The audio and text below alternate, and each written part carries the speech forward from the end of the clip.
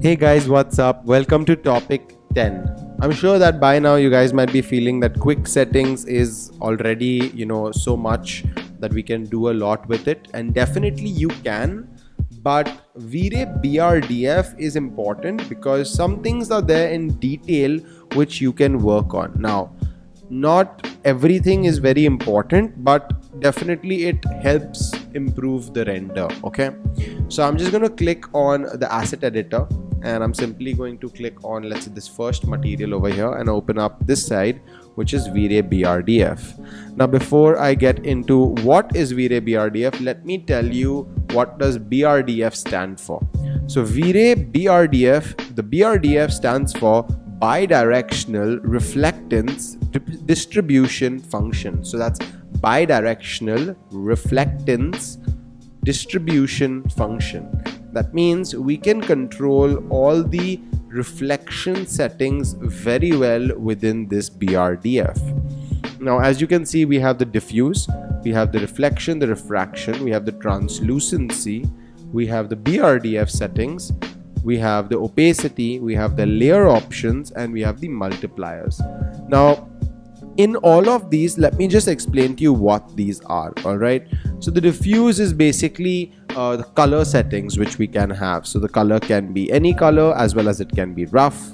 Then we have the reflection. The reflection is controlling all the reflectivity options so including the glossiness and the reflection together the IOR as well the exit color the depth of the reflection and everything in that then we have the refraction refraction as you guys know is building transparency trans you know uh, making it look uh, a little bit more transparent that can be done and you can see over here the fog color comes with it that's because both of them work together so does the IOR as well as the glossiness so all of this comes under refraction then we have translucency. So when you're adjusting the translucency, there are a lot of things which come into play. What is the backside color? What is the thickness?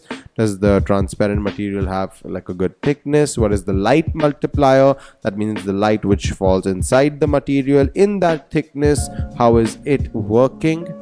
Then we have the BRDF options. The BRDF is mostly on your graphic card. So you can see the GTR GX over here. We can select different uh, over here options to actually see the whole material setup change slightly. So if I use the micro facet, we have the best look and these all come under adjusting this particular setting. After this, we have the opacity. Of course, the opacity is simply controlling how opaque would that texture basically be, what we do anyway in the quick settings. Then we have the layer option. So you can see the trace reflections. Do you want it to trace reflections or not? Or do you do? Then do you want it to be double-sided or not? This would work more for glass then we have the trace refraction. So do you want it to trace that? But since there is no refraction in this it will be useless to switch this off or switch this on. Then you've got the use irradiance map. You can see that as well. The fog system scaling unit if we are using fog color you've got linear workflow. You can see the entire texture. Color itself gets overtaken then we have the cutoff threshold. So the cutoff threshold basically means where do you want to cut off the color in in general? All right. So you can see over here it's at uh, and it'll never be above one. All right. So it's a very minute setting but you can see that difference coming in for the material.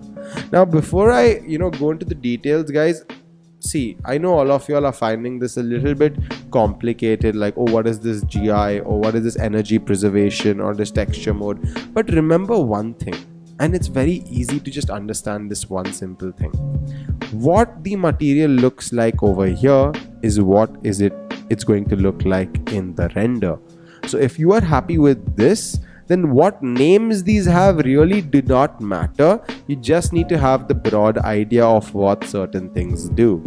So remember that, and then I think it's going to be very easy for you guys to start creating excellent renders. All right. So I'm going to put it to you guys very easily. All right. Then we have got the multipliers.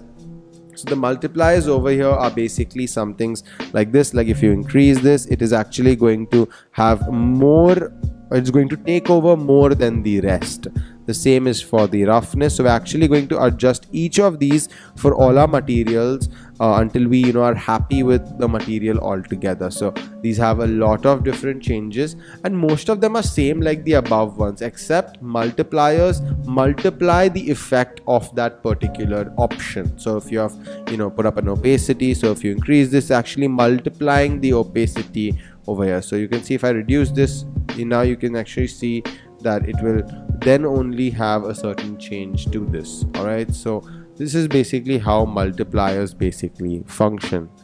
Okay guys so i hope you guys have understood this.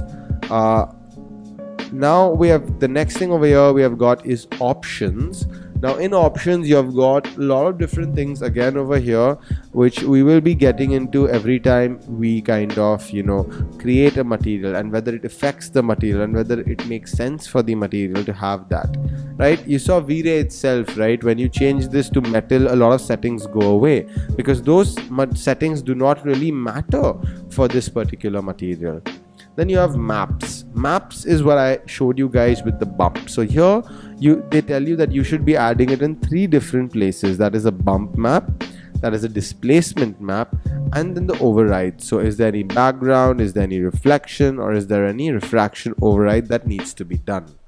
So all of these things you know encompass of just editing a single material.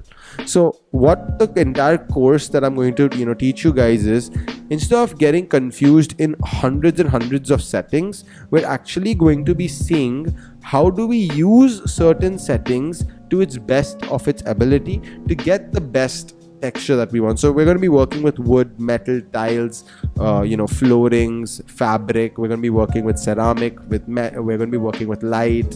We're going to be working with paints concrete rough concrete. We're going to be working with different kinds of woods with different kinds of fabrics and chairs sofas we're going to be working on so many different things that eventually you'll have an idea about all the different materials. So that's what you guys should be focusing on. And don't try to get too confused into all of these things all right?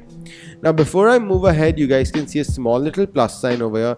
This basically lets us add a layer similar to that as this generic. So let's say if i add uh, a car paint layer then automatically the quick settings get override and now we will be working only on the car paint layer and then we'll be working on the V-Ray BRDF settings.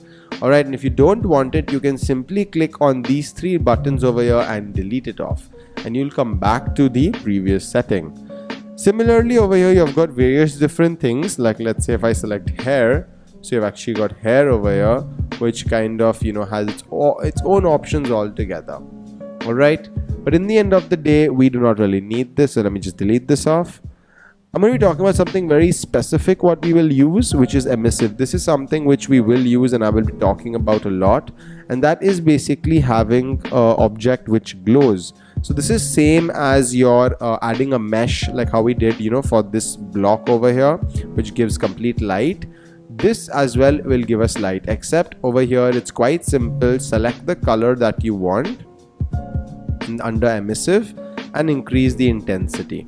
And you can actually see how this starts to glow. So this is a very good way to have spotlights done and we'll be using this as well for that. Also for uh, you know concealed lightings we'll be using this as well. So very good way to actually use this and i'm actually going to take a very basic render to show you how this uh, even looks. So let me just kind of stop this and take out a render to actually show you how that looks and when I stop this let me just take out an interactive render because you know I'd want to show you guys the changes which are happening as well. So now actually see that how this is increasingly changing over here. So you can see that becomes yellow. Uh, we've got the transparency color. So if I increase this you can actually see how uh, it goes back to its already set uh, you know material. Here I can increase the intensity completely you can actually you know we need to select a very good color and usually light colors are good over here. They emit very well. You know they emit the whole uh, look itself very well. And uh, you can see we have double sided as well. Uh, emit on the back side. Do you need that to happen? Um, then of course I'll reduce the transparency color over here.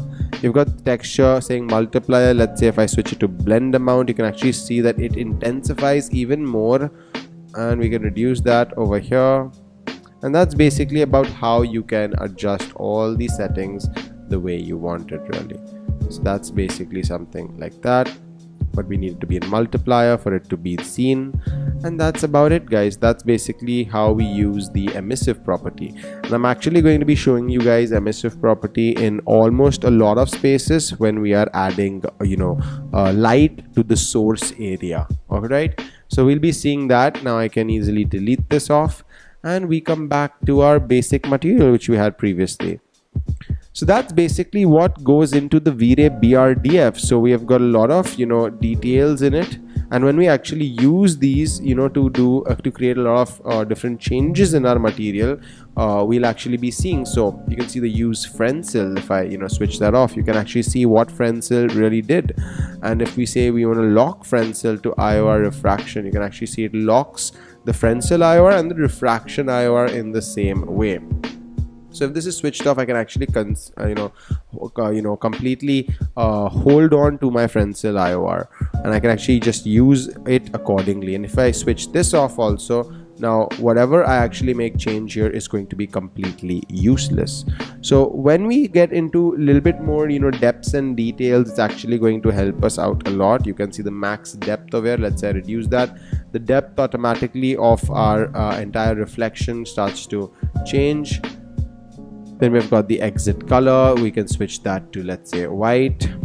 So that's basically how you guys are going to completely adjust from the V-Ray BRDF as well I prefer a very different approach towards rendering. I always use the quick settings because it's easy, understandable, and it's fast. And then some things which I want to maybe make better, I then get into the V-Ray BRDF. So it's less confusing and it's more uh, easy for us to, you know, get the perfect render. Because in the end of the day, how you do it does not matter. Getting the perfect render is what really matters.